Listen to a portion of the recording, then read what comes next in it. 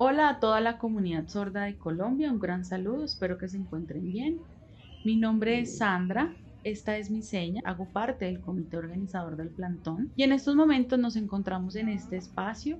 Es algo muy positivo, fueron más o menos 300 personas en pro del acceso a la educación de las personas sordas, además todo el proceso de modelos lingüísticos, mediadores y docentes también algunas reformas que se quieren lograr para la ley 1421. Ya logramos y estamos aquí esperando alguna respuesta del gobierno nacional, el presidente Petro, porque pues queremos que la educación sea en igualdad de condiciones. Entonces, después de hablar con asesores jurídicos y demás, hay un grupo de representantes que están en este diálogo. Está la directora de ACEDUS, profesional académico que también llegó, representante de padres de familias de niños sordos que siempre han tenido barreras por muchos años y hacen gestión a través de cartas y demás y no les han puesto atención. Entonces estos cuatro representantes están ahorita hablando para llegar a acuerdos y pues lograr algunos cambios. Estamos a, la espera de más respuesta.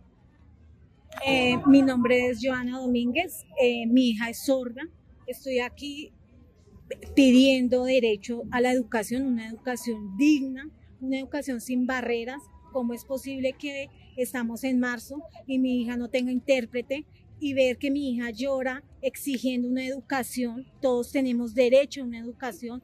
No entiendo por qué los excluyen porque acá hay exclusión y allá no tenemos intérpretes. Estamos en marzo y no tienen intérpretes, mi hija está en décimo y llega a mi casa a llorar diciendo que no entiende matemáticas, que no entiende español. ¿Por qué? Porque no tenemos intérpretes. Estamos solos, realmente estamos solos.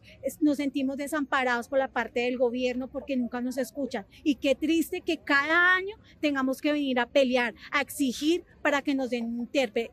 Un intérprete.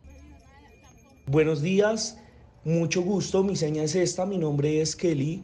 Yo estoy muy preocupada porque todos los estudiantes sordos del Colegio Federico García Lorca no podemos acceder a los conocimientos y los oyentes sí. Nosotros estamos en desigualdad de condiciones y necesitamos que vengan los intérpretes para poder acceder a nuestras clases, por favor, y los mediadores.